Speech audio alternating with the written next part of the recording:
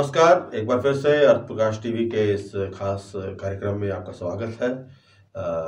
इसमें हम आपसे ट्राई सिटी की खबरें आपके साथ शेयर करते हैं और इसके अलावा अगर कोई महत्वपूर्ण खबर हमें दूसरे राज्यों से भी मिलती है, पंजाब और हरियाणा से मिलती है या राष्ट्रीय स्तर की कोई बड़ी खबर होती है, वो भी हम आपके साथ शेयर करते हैं। ट्राई सिटी का खबरनामा इसको हम कहते हैं और आज हम शुरुआत कर रहे हैं शिरोमणि अकाली दल की खबर के साथ।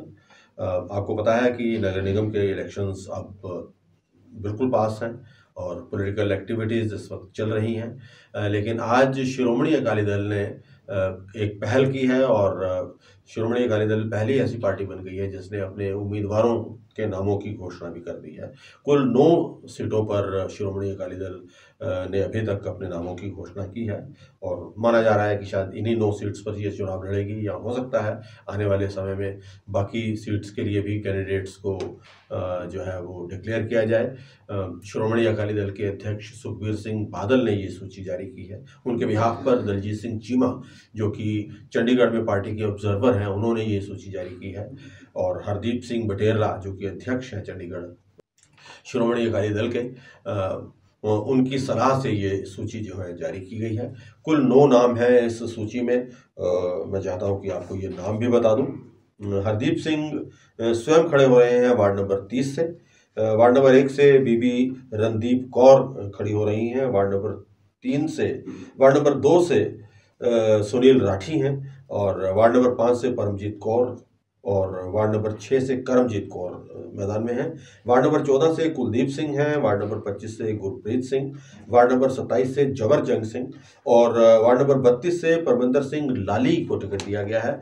जैसा कि श्रोमणी अकाली दल और बहुजन समाज पार्टी के बीच में सीटों को लेकर समझौता है। पंजाब में ये समझौता चल रहा है तो चंडीगढ़ में भी ये समझौता चल रहा है और जो लाली हैं, वो बहुजन समाज पार्टी के उम्मीदवार हैं। लेकिन एक संयुक्त उम्मीदवार के तौर पर श्रोमणी अकाली दल और बसपा के उम्मीदवार के तौर पर वो यहाँ पर चुनाव लड़ेंगे। चंडीगढ़ में श्रोमणी अकाली दल बहुत ज़्यादा अच्छा प्रदर्शन तो कभी नहीं रहा खैर लेकिन हमेशा आ, कुछ ना कुछ आ, इनके वार्ड काउंसलर्स जीत के आते रहे हैं। ख़ासतौर पर हरदीप सिंह बटेरला रह चुके हैं। इससे पहले भी इनके उम्मीदवार जो हैं वो जीतते रहे हैं। तो कुल मिलाकर हम कह सकते हैं कि चंडीगढ़ में जहाँ आम आदमी पार्टी इस बार एक नई एंट्रेंट है तो बीजेपी और कांग्रेस जो कि ट्रेडिशनली यहाँ पर परंपरागत तौर पर आपस में चुनाव लड़ती रही हैं, उनके लिए जो है वो मुश्किलें बढ़ने वाली हैं और इस बार मल्टी ब्राउंड कंटेस्ट चंडीगढ़ म्यूनिसिपल कॉरपोरेशन के इलेक्शंस में देखने को मिल सकता है। और, इस एक और खबर हम, वो पंजाब से है हालाँकि, लेकिन चूँकि शिरोमणि अकाली दल की खबर है तो वो भी हम आपको बता दें शिरोमणि अकाली दल ने पंजाब में भी तीन उम्मीदवारों के नामों का ऐलान किया है विधानसभा के लिए। बलाचौर से उन्होंने सुनीता चौधरी के लिए टिकट पक्का किया है। शाहकोट से बचेंद्र सिंह कुहाड़, जो कि अजीत सिंह कुहाड़ के पौत्र हैं, उनको टिकट दिया गया है। और पटियाला देहात से जयपाल सिंह बिट्टू चट्ठा को टिकट दिया गया है। इस तरह से यहाँ पर भी कुल मिलाकर तिरासी सीटों पर श्रोमणी अकाली दल ने अपने उम्मीदवार खड़े कर दिए हैं और पंजाब इलेक्शंस के अंदर भी श्रोमणी अकाली दल अभी तक दूसरे कैंडिडेट्स दूसरी पार्टीज़ के मुकाबले में आगे चल रहा है। कांग्रेस, बीजेपी या आम आदमी पार्टी, आम आदमी पार्टी ने भी हाल ही में कल ही अभी अपने दस उम्मीदवार जो एम एल हैं, उनको टिकट देने का फैसला किया है। लेकिन अभी चूँकि काफ़ी देर है तो काफ़ी समय अभी उसमें है तो दूसरी पार्टियाँ भी डिसीज़न लेंगी। तो अभी फ़िलहाल हम ले लेते हैं एक ब्रेक और उसके बाद फिर हम आपको चंडीगढ़ के बारे में जो कुछ और आज खबरें हैं और पंचकूला और मोहाली के बारे में भी कुछ खबरें हम आपके साथ शेयर करेंगे।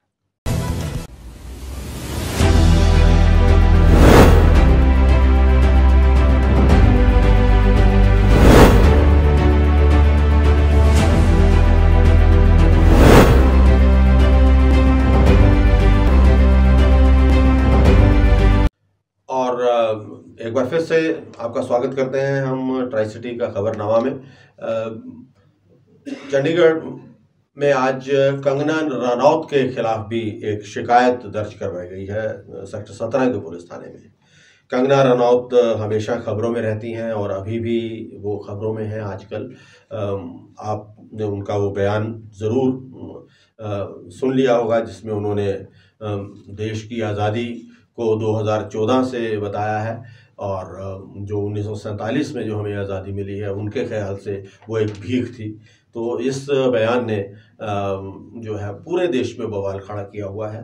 लगातार, जो है, उनके खिलाफ बयान आ रहे हैं बड़े बड़े नेताओं के उनके खिलाफ बयान आ रहे हैं। ये भी कहा जा रहा है कि उनका जो पद्मश्री ने, जो उन्हें हाल ही में दिया गया है, वो वापस लिया जाए। खुद भारतीय जनता पार्टी के बड़े नेता वरुण गांधी ने उनके इस बयान पर सबसे पहले प्रतिक्रिया दी थी। उन्होंने इसको कहा था कि वो इसको देशद्रोह कहें या क्या कहें जिस तरह का बयान उन्होंने दिया है। कांग्रेस लगातार राष्ट्रीय स्तर पर इस मुद्दे पर भारतीय जनता पार्टी को घेर रही है और कंगना रनौत के खिलाफ तो निशाना बनाया ही जा रहा है। चंडीगढ़ में आज जो मामला दर्ज करवाया गया है, वो कांग्रेस के ही नेता हैं मनोज लुबाना उन्होंने सेक्टर सत्रह के पुलिस स्टेशन में मामला दर्ज करवाया है। उन्होंने कहा है कि कंगना रनौत के खिलाफ एक सौ चौबीस ए जो कि सडिशन की धारा है देशद्रोह की धारा है, उसमें मामला दर्ज होना चाहिए। पाँच सौ चार, पाँच सौ पाँच और यहाँ तक कि युवापा जो बहुत ही जिसको हम ड्रेकोनियन लॉ मानते हैं, उसकी सेक्शन तेरह में भी उन्होंने कहा है कि ये मामला जो है कंगना रनौत के खिलाफ दर्ज होना चाहिए। जो मामला दर्ज होगा या नहीं होगा, ये बहरहाल देखना होगा, लेकिन कांग्रेस की तरफ़ से ये आज प्रयास हुआ है। खुद मनोज लुबाना तो वहाँ थे ही, पार्टी के अध्यक्ष सुभाष चावला भी उनके साथ आज ये रिपोर्ट दर्ज करवाने के लिए गए हुए थे। तो इसके बाद अब हम बात करते हैं आज चंडीगढ़ में हुए कुछ सकारात्मक कामों की। इलेक्ट्रिसिटी बसेस का काफ़ी देर से इंतज़ार था आज वो इंतज़ार ख़त्म हो गया। आ, सेक्टर सत्रह में आज चंडीगढ़ के प्रशासक और पंजाब के राज्यपाल बनवारी लाल पुरोहित ने इनको ऑफिशियली फ्लैग ऑफ़ किया। फ़िलहाल पाँच बसें हैं यहाँ पर। पाँच बसें जो है वो सेक्टर सत्रह से पीजीआई के बीच में एक एक्सप्रेस रूट तैयार किया गया है। उस पर चलेंगी। जो कि ये सेक्टर पीजीआई से आते हुए सत्रह सेक्टर से होते हुए और तरतालीस से आते हुए सत्रह के बस स्टैंड से होते हुए ये बस जाएगी। प्रशासन का मानना है कि ये सबसे ज़्यादा बिज़ी रहने वाला रूट है। तो इस पर, ये बसों की शुरुआत की गई है और उम्मीद की जा रही है कि हर दस मिनट के बाद ये बस उपलब्ध होगी। इलेक्ट्रिक बसें हैं तो निश्चित तौर पर पॉल्यूशन का सवाल नहीं है। और बिल्कुल साउंडलेस बसेस हैं, कोई आवाज़ भी इनमें नहीं रहती है। और चूँकि आधुनिक बसेस हैं एकदम से नई बसेस अशोक लेलैंड कंपनी की तरफ़ से ये मुहैया करवाई गई हैं। तो जो भी अत्याधुनिक सुविधाएँ आज के ज़माने में हमें चाहिए होती हैं, वो सुविधाएँ इन इन बसेस में दी गई हैं और हम उम्मीद करते हैं कि आने वाले समय में और बसें आएँगी। माना जा रहा है कि पाँच बसें और आ रही हैं जल्दी ही इसी महीने में और, करीब दिसंबर के अंत अंत तक, इस साल के अंत तक चालीस बसें चंडीगढ़ में आ जाएँगी। तो उसके बाद से न सिर्फ़ चंडीगढ़ में पॉल्यूशन के हालात बेहतर होंगे, बल्कि इसके साथ साथ मुझे लगता है कि बस सेवा भी यहाँ पर बेहतर होगी।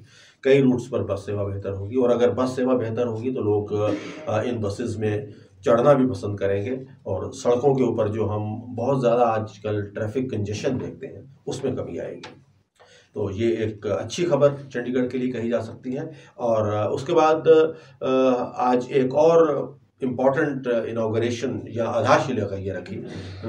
वो बनवारी लाल पुरोहित ने आज मनी माजरा में रखी। मनी माजरा के शिवालिक गार्डन के सामने जो ग्राउंड है प्ले ग्राउंड है, वहाँ पर अंडरग्राउंड रिजर्वायर्स बनाए जा रहे हैं। वहाँ से आज से जो पायलट प्रोजेक्ट 24 घंटे पानी देने का है जिस पायलट प्रोजेक्ट की मनी माजरा से शुरुआत हो रही है, उसकी आधारशिला वो वहाँ पर रखने गए हैं। ये पायलट प्रोजेक्ट शुरू हो जाने के बाद पूरा हो जाने के बाद मनी माजरा में कम से कम 24 घंटे पानी की सप्लाई हुआ करेगी।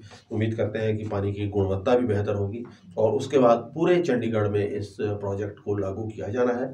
हालाँकि इस प्रोजेक्ट का जो स्थानीय लोग हैं वो विरोध कर रहे हैं। विरोध वाटर सप्लाई को लेकर नहीं है, इतना ज़्यादा इस बात को लेकर है कि ये ग्राउंड जो कि बच्चों के लिए बनाया गया था और बच्चे वहाँ पर खेलना पसंद करते हैं और वहाँ पर बाकायदा उसके लिए इंफ्रास्ट्रक्चर भी क्रिएट किया गया था।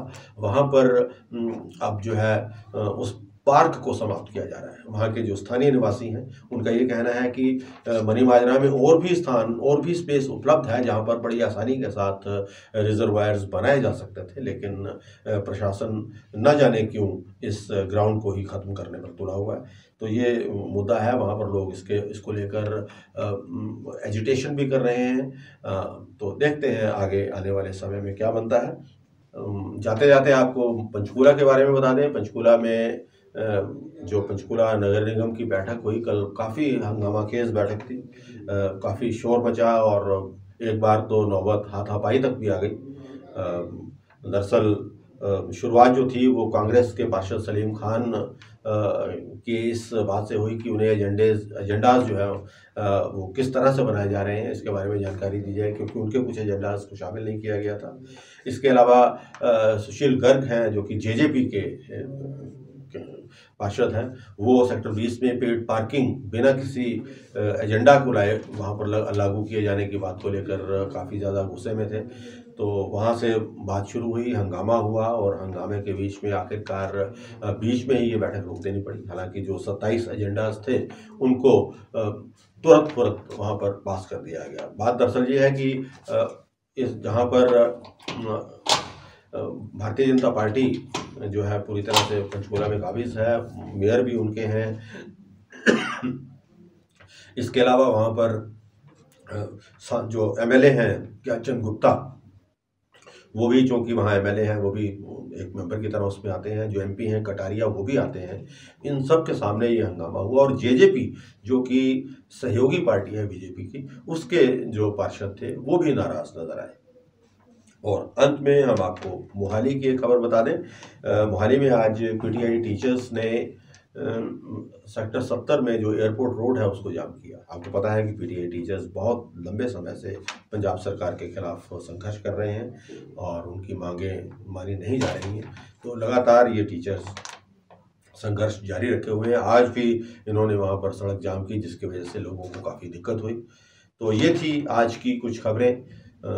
हमारे ट्राई सिटी का खबरनामा अर्थ प्रकाश टीवी पर जो हम आपके साथ रोज़ाना आपके साथ मिलते हैं, आपके साथ बात करते हैं। आने वाले समय में भी रोज़ाना हम आपके साथ इसी तरह से मुलाकात करते रहेंगे।